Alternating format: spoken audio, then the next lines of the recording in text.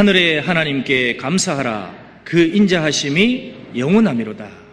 여기 보면 하늘의 하나님께 감사하라. 이런 표현이 있습니다. 성경에 보면 계속 하늘에 계신 하나님 그런 표현이 많습니다. 이 하나님은 이 우주를 통제하시는 하나님이라는 겁니다. 그리고 전능하신 분이라는 겁니다. 여기에 보면 하늘의 하나님, 즉 하늘에 계신 분이라는 의미도 됩니다. 우리가 이사야서 55장 8절 말씀 잘 알고 있을 겁니다. 하나님의 생각과 길은 우리보다 높다고 했습니다. 내 생각은 너희 생각보다 높으며 내 길은 너희 길보다 높아서 하늘이 땅보다 높은 같이 내 길은 너희 길보다 높으니라. 내 생각도 너희보다 높으니라. 그렇게 얘기했습니다. 하나님이 우리 인생을 인도하는 길과 생각을 가지고 계신 겁니다. 그것은 우리가 가진 생각보다 높습니다. 그러기에 우리가 믿을 수 있는 것은 내 생을 가장 좋은 길로 인도하실 것을 믿을 수 있습니다. 또 하나, 우리를 위해 예비해 놓으신 하늘이 분명히 있습니다. 그것도 우리의 생각과 우리의 머리로 이해가 안 가는 거예요. 바울 사도는 셋째 하늘에 갔다 왔습니다. 그러면서 고린도 성도들에게 고린도전서 2장 9절에 그렇게 얘기했습니다.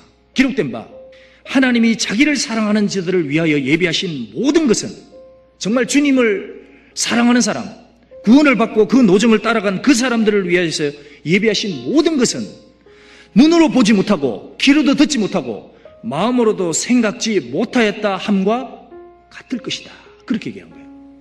그 얘기는 이 광야에서 절대로 가난을 알 수 없듯이 샘플만 잠깐 볼 수 있듯이 우리가 이 세상에 살지만 하나님이 진짜 부름을 받은 그 대가가 그 광야를 통과한 이후에 얻을지 축복이 얼마나 큰지를 절대 상상을 못한다는 겁니다.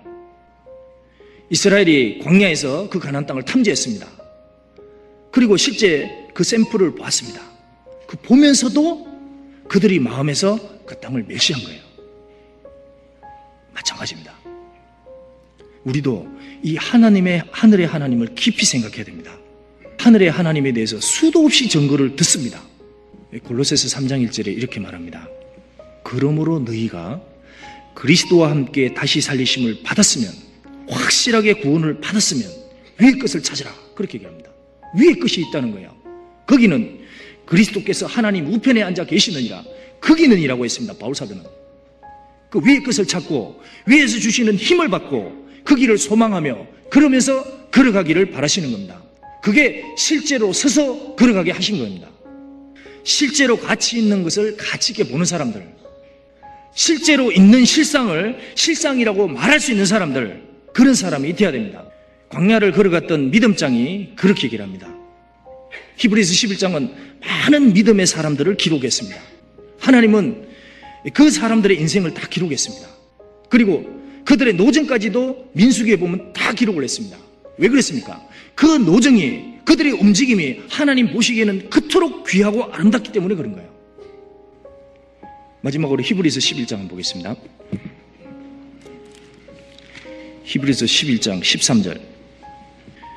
여기 사람 중에 이 사람들에 들어가는 것이 얼마나 복된 삶입니까? 이 사람들. 이렇게 얘기했습니다. 13절. 이 사람들은 다 믿음을 따라 죽었으며, 여기 다라 그랬습니다.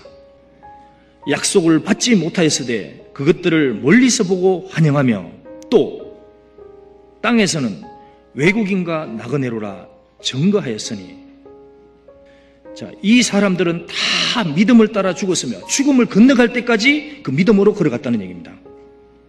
약속을 받지 못하였으되 그것들을 멀리서 보고 이게 하늘의 약속인 겁니다. 멀리서 보고 환영하며 또 땅에서는 외국인과 나그네로라 증거하였으니 여기 외국인과 나그네로라 증거하였다. 그리고 멀리서 보고 환영했다 그랬습니다. 자, 광야의 세상에서 사람들이 전부 다 무엇인가를 바라보고 삽니다. 근데 그게 신기루가 되는 거예요. 있다가 사라지고 되는 겁니다. 그런데 여기서 멀리서 보고 환영하는 것은 실제로 있는 것을 보는 겁니다. 그 믿음의 눈으로 보면 이곳이 광야이고 잠시 지나가는 것이고 통과하는 것이고 실제 머물러야 될 그 사람이 반드시 그어야 될 그곳이 있다는 것을 안 겁니다. 그래서 땅에서는 우리는 외국인이고 우리는 나그네다 이렇게 증거를 한 겁니다. 그들의 삶이 그걸 증거한 겁니다. 이렇게 살아가는 것이 그 주위 사람들에게는 실제로 본향이 있다는 것에 증거가 되는 거예요. 14절. 이같이 말하는 자들은 본향이 있는 것을 나타내미라. 그 증거가 된다는 겁니다. 그 주위 사람이 야 저렇게 보니까 진짜 본향이 있구나. 그걸 나타낸다는 겁니다. 주님은 이 사람들이라고 얘기했습니다. 그리고 이 사람들의 하나님이 되시기를 기뻐하십니다. 16절. 같이 읽어보겠습니다. 저희가 이제는 더 나은 본향을 사모하니 곧 하늘에 있는 것이라. 그러므로 하나님이 저희 하나님이라 일컬음 받으심을 부끄러워 아니하시고 저희를 위하여 한 성을 예비하셨느니라. 저희가 더 나은 본향을 사모하니 곧 하늘에 있는 것이라. 여기 있는 것이라고 얘기했습니다. 사람들이 얘기할 때는 당신들이 보고 있는 것은 그것은 허망한 겁니다. 허상이고 신기루일 뿐입니다. 근데 성경은 얘기합니다. 신기루가 아니고 허상이 아니고 하늘에 실제 있는 것이다 라고 얘기했습니다. 하나님이 이런 사람들의 하나님이라 이런 사람들의 하나님이라 일컬음 받으시기를 부끄러워 아니하시고 이것은 뭡니까? 이런 사람들의 하나님이 되시기를 기뻐하시는 겁니다. 그리고 이들이 그할 성을 준비했습니다. 참으로 그할 만한 실제로 쉴 수 있는 그 실제의 성이 되는 겁니다.